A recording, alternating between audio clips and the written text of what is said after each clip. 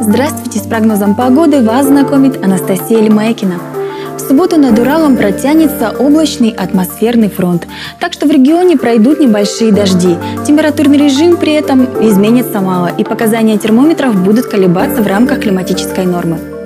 В Тюмени, Челябинске и Екатеринбурге возможен кратковременный дождь. Температура днем плюс 17-20.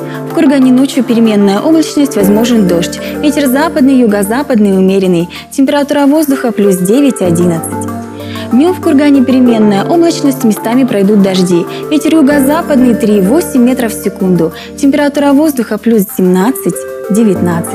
Атмосферное давление будет слабо падать. 31 августа солнечная активность умеренная, геомагнитное поле слабо возмущенное. На этом я прощаюсь с вами. Всего доброго!